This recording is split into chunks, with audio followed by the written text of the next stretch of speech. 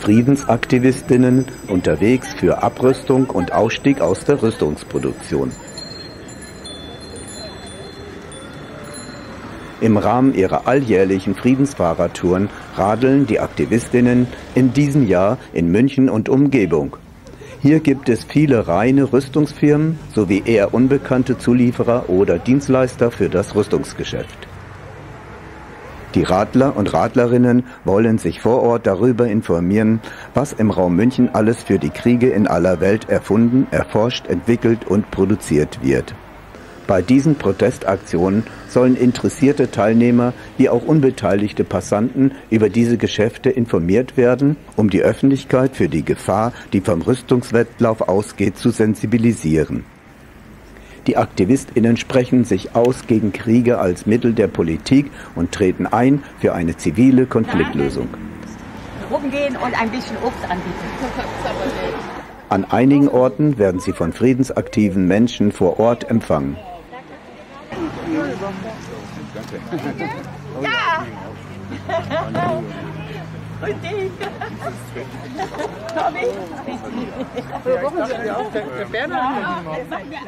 Eines der Ziele auf der heutigen Tour ist das Deutsche Zentrum für Luft- und Raumfahrt in Oberpfaffenhofen.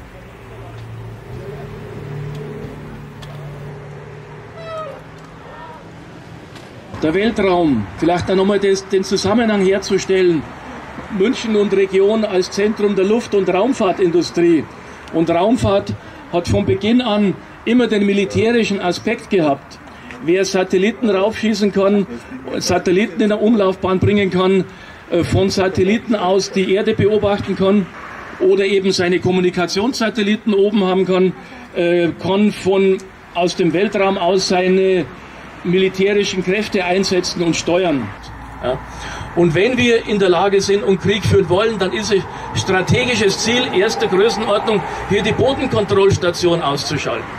Ja? Also wenn es wirklich zum Konflikt mit Russland kommt, dann scheppert es als erstes hier, meiner Meinung nach. Ein Institut innerhalb des DLR heißt Deutsches Fernerkundungsdatenzentrum, DFD. Es ist ein Datenzentrum zur Erlangung von allen möglichen Erddaten. Das Institut stellt sich relativ zivil auf und betont, Nutzung, betont die Nutzung der Daten für ökologische und allgemein geografische Zwecke. Also wer Krieg führen will, muss natürlich wissen, wo er hingeht. Wo ist man denn eigentlich? Wo sind wir denn? Haben wir die genauen Karten? Die Erfindung der Kartografie im 18. Jahrhundert für die napoleonischen Kriege war ein ganz entscheidender Schritt, dass man überall Krieg führen kann. Und heute ist es eben mit Satelliten, dass man die Erde so weit erkundet, dass man kennt und weiß, wo man denn hingeht. Dieses Radarsystem ist auch ein ganzer Radarsatellitensystem, ein ganz wichtiger äh, Meilenstein oder Eckpfeiler für die autonome strategische Kriegsführungsfähigkeit auch der Bundesrepublik Deutschland.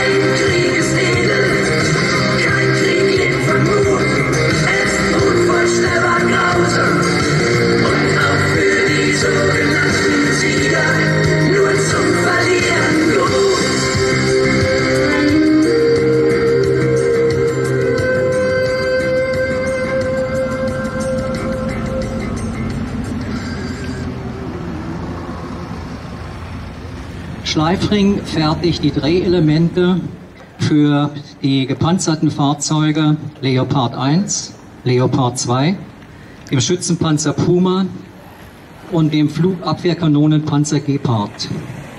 Der Anteil an militärischer Fertigung beträgt 10 Prozent. Wenn das 10 Prozent sind, dann könnten 10 Prozent auch konvertiert werden. Wir machen eine Friedensradeltour die ganze Woche, da haben wir Montag begonnen. Und auf dieser Friedensradeltour besuchen wir äh, Firmen, die Rüstungsgüter exportieren und diesen Firmen wollen wir was sagen. Und zwar alles, was wir sagen wollen, ist, äh, gebt dem Krieg keine Chance, sondern äh, anstatt Rüstungsgüter zu exportieren, ähm, zivile, Produktion, zivile Produktion einzusteigen. Gracias.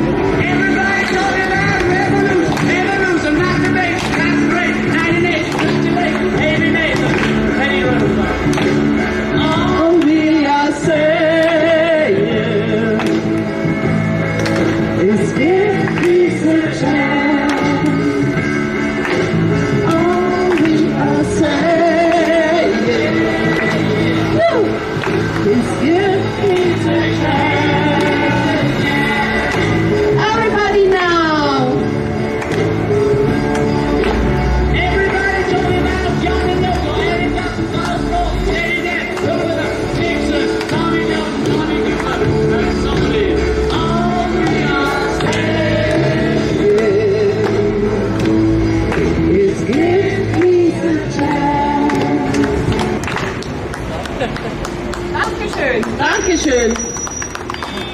Genau, es gibt noch ein, kurze, ein kurzes Grußwort. Wir sind sehr erschrocken und entsetzt, dass auch unsere schöne Stadt Fürstenfeldbruck zu einem Rüstungsstandort gehört. Ja, wir wissen alle und leiden darunter, dass die Rüstungsexporte steigen und zunehmen weltweit. Und Deutschland ist vorne an. Wir, und das bekümmert mich besonders in Bezug auf die Flüchtlinge, wir exportieren Krieg, wir exportieren Wirtschaftskrisen, Hunger, Elend, Zerstörung. Es ist grausam. Und es ist nötig, dass wir alle etwas tun, nicht den Krieg vorbereiten, wie das hier in, unserer, in unserem Land geschieht, sondern den Frieden vorbereiten. Und das gäbe es viele Möglichkeiten den Frieden vorzubereiten.